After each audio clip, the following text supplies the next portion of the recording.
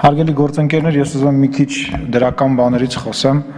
Այս օրերին շատ հետաքրքիր ու լավ բանի ենք ականատես լինում, դա այն միասնությունն է, ճիշտ է ոչ կատարյալ, բայց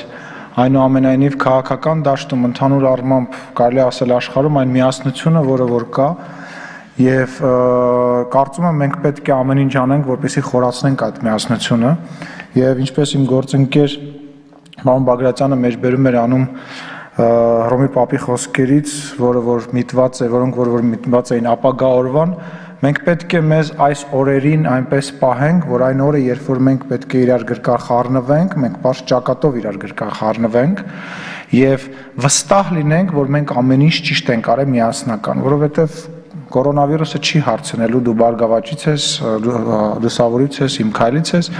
եւ երկիրը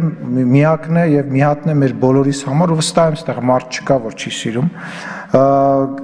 տարբեր տեղերից քննադատություններ, ինչ որ կարծիքներ են հնչում այնուամենայնիվ այսօրերին, բայց ես կոչ եմ անում եւ դիմում եմ իմ գործընկերներին բոլոր տեղում գտնվող իմ գործընկերներին արտախորհրդարանական, խորհրդարանական Հայաստանի Հանրապետությունը եւ ընդհանուր առմամբ աշխարհը նման օրինակ չի տեսել։ Նման օրինակներ եթե եղել են, եղել են միջին դարերում եւ այնտեղից ինֆորմացիան եւ պետության կառավարման ձևեր ընդհանուր առմամբ շատ տարբեր են եղել եւ այսօր Չինաստանի գյուղում հիվանդացած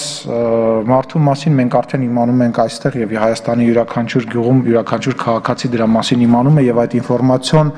ծավալը բնական է իր ազդեցությունն է ունենում Նաև ուզում եմ անդրադառնալ ԶԼՄ-ների հետ կապված թեմային, որի մասին այսօրերին շատ է խոսվում, հարգելի գործընկերներ Հայաստանի Հանրապետության իշխանությունը անցած տարիների, երկու տարիների ընթացքում ապացուցել է իր ԶԼՄ-ների հետ աշխատանքի եւ ժողովրդավարության առումով բաց լինելու առումով բարձր մակարդակը դրա մասին խոսում են ոչ թե միայն Հայաստանի Հանրապետությունում, այլ Հայաստանի Հանրապետությունից դուրս եւ որpիսի մենք զերծ պահենք շահարկումներից, մենք եկեք չմոռանանք, որ մենք փաստացի պատերազմող երկիր ենք եւ այնուամենայնիվ այս իրավիճակը մեր հակառակորդի կողմից նույնպես կարող է օգտագործվել, եկեք հասկանանք մի բարձ հասարակ բան։ Հայաստանի Հանրապետության իշխանությունը ասում է ամեն ինչ, ինչ կատարվում է Հայաստանի Հանրապետությունում, չի թաքցնում, չի ստում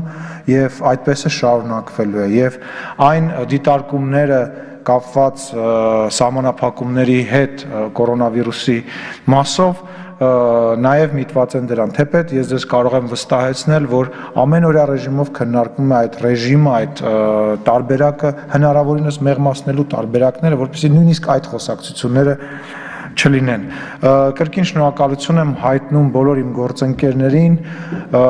նման միասնության համար եւ վստահ եմ, որ շատ շուտով, շատ շուտով ես վստահ եմ նրա մեջ մենք դուրս ենք գալու այս իրավիճակից